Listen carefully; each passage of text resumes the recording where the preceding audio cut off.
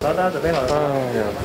只是一声“哎呦”，怎么能道尽柯文哲对于检调侦办高红安案的不满？我每次说哦，我我不太愿意去批评司法，我还是希望司法是国家的最业道防线，是可以被人民信任的。当然到现在为止，还没有达到这标准。才说不批评司法，还是忍不住批评司法。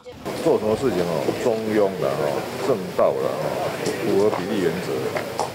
所以这个时候，都讲，也也许也许民进党可以想想看，他为什么在北台湾会选到全军覆没？一个大理由就是打过头了。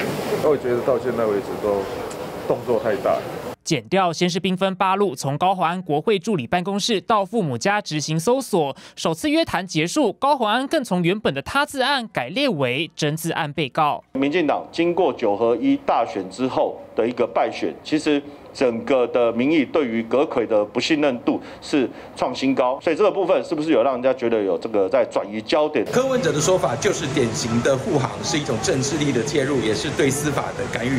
我们尊重司法的侦办进度，我们认为就是要勿往勿纵。民众党必谈诈理助理费争议，高举司法迫害的旗子，看在也涉入助理费案的台北市议员林颖梦眼里，忍不住发文。林颖梦说自己对比高红安，没有任何助理费上缴更。毫无公款私用。这几天很多蓝白反和政治人物都在声援高鸿安，他们说司法不公、国家机器、政治追杀迫害。